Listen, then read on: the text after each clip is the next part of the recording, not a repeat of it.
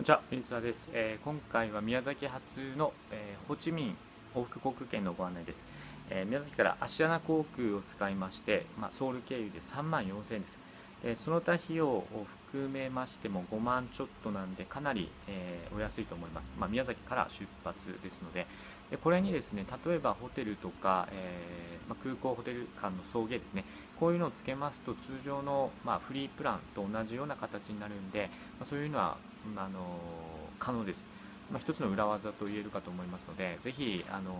まあ、こういう格安航空券とあと現地、えー送迎あった方がいいとかいう方いらっしゃいましたら、えーウィルツアーまでご連絡ください、えーすぐに、えーツアーを作成いたします。よろしくお願いします。